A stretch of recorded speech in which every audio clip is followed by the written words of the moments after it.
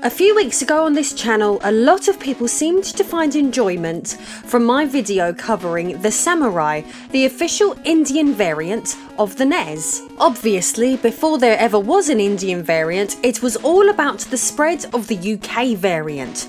So in this week's episode, we are going to be covering the history of the Nintendo Entertainment System in the United Kingdom. Or, should I say, Nintendo Entertainment Systems as this country had not one but two different variations of the 8 bit console on the market.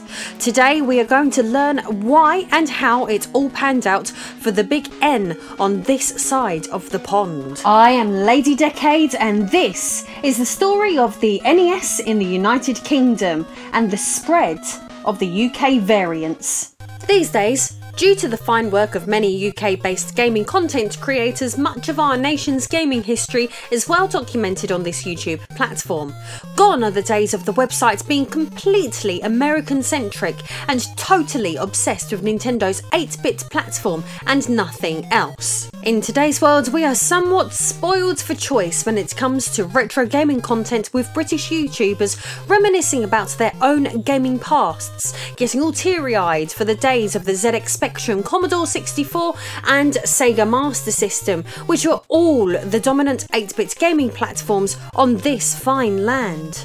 Due to this, though, it's not surprising really that the amount of NES focused content coming out of this country is fairly limited. After all, the humble Nintendo system doesn't seem to have been a particularly important part of many of our key creators' childhoods. It almost feels amusing to tell Americans how poorly, at points, Nintendo seemed to be performing here, considering that the NES was the most popular gaming platform in the States, yet here, for periods, lagged behind the Spectrum, Commodore, Amstrad, Master System, and even more embarrassingly for the Japanese company, even the Atari 2600. Now, obviously, there are well documented factors that contributed to this huge failure. For example, no 1983 video game crash, creating a gap in the market the company could fill, the extreme popularity of microcomputers, which presented gamers with a cheap and cheerful way to both play and pirate their games. And then there was, of course, the Sega Master System itself,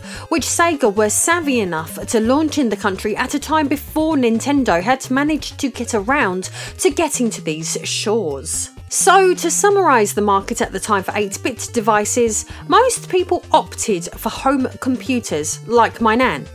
However, those who wanted a dedicated game device would pick up a Master System, and those who were stingy and tight around a pound note, they would have opted for the Atari 2600. Taking all of this in account, as you can see for Nintendo, the UK market was a tough market to crack, with successful systems on the market to please just about every kind of consumer. So, even if they stood a chance of doing well, they obviously had a big fight on their hands to try and carve out their own niche. There were no ET cartridges buried in deserts here, or even any deserts at all, real or metaphorical for that matter. So now you understand the market at the time, this brings us to the launch of the first UK variant. But obviously, for a launch to be possible at all, you need to find a good distributor.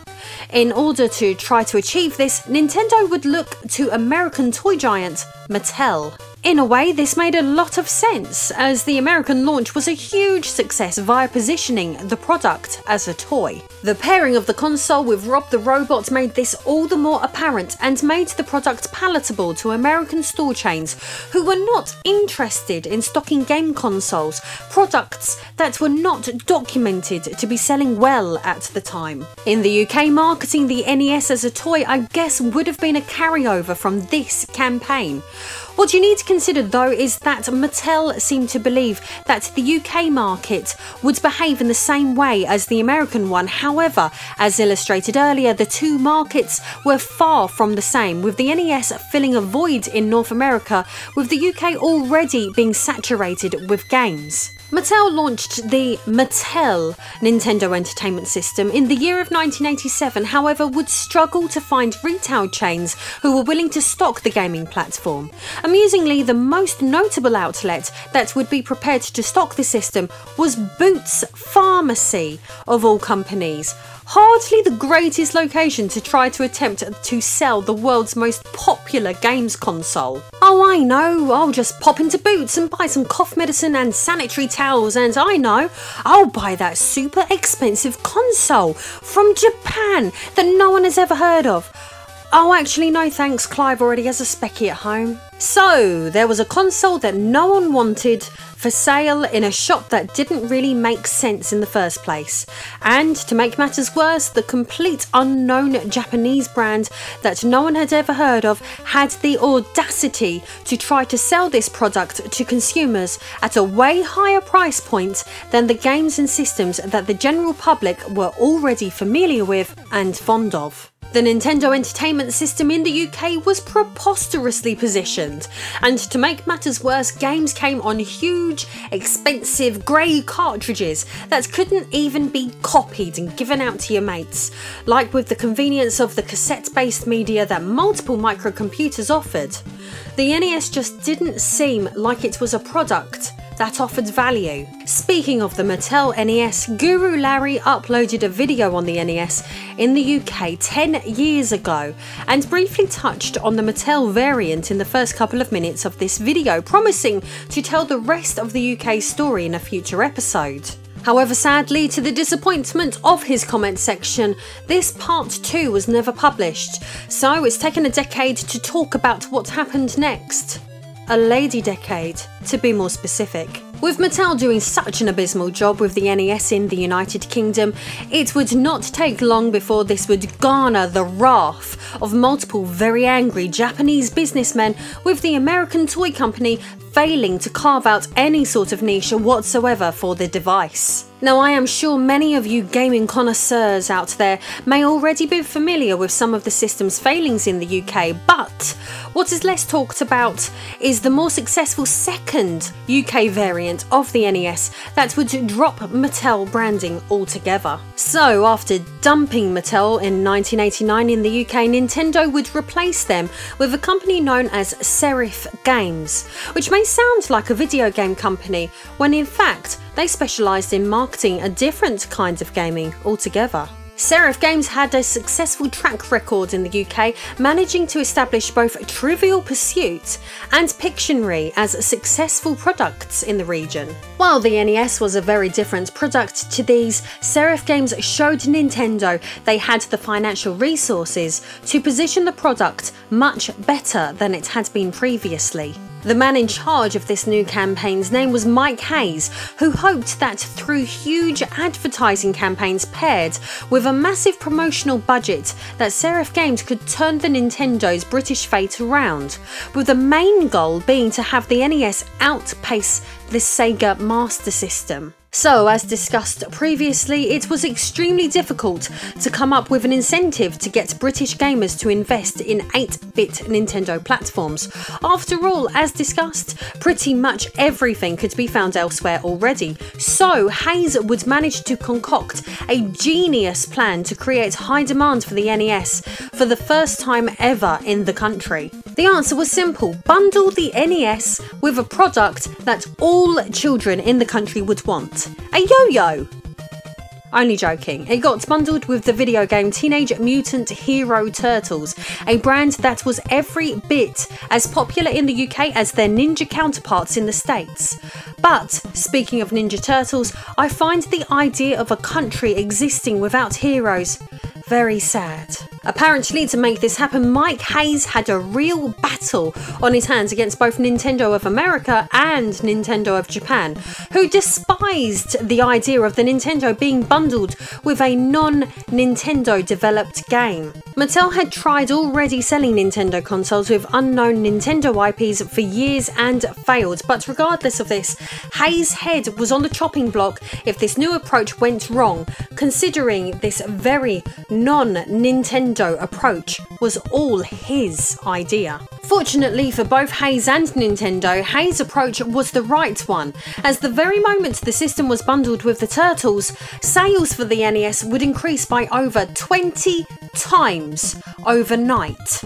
children may not have cared about Nintendo, but they certainly gave a hoot about the Turtles. In fact, Christmas of that year, for the first time in the country's history, the NES outsold the Sega Master System, winning a round of the 8 bit wars that year. This new lease of life for the Nintendo Entertainment System in the UK was not Mike Hayes of Serif Games' only victory, as he would also be placed in charge for the marketing of both the Game Boy and the Super Nintendo in the region. If you know your gaming history, you will probably be aware of just how popular the Game Boy was in the country and how the Super Super Nintendo still gave the Sega Mega Drive a run for its money. However, few people celebrate this Brit's contributions for making the systems a success in the UK. Mattel had tried and failed, but Hayes, on the other hand, managed to achieve some victories with every device he worked with. Nintendo products could eventually be found for sale practically everywhere, and while the NES didn't seem to attract the same amount of nostalgia in the region as the likes of Alex Kidd in Miracle World on the Sega Master System 2, the NES was still rejuvenated somewhat and sold fairly well as a budget console in the Super Nintendo versus Sega Mega Drive era. As for Mike Hayes, he would make more history in the future by becoming one of the few people in history holding significant job roles working with both Nintendo and Sega.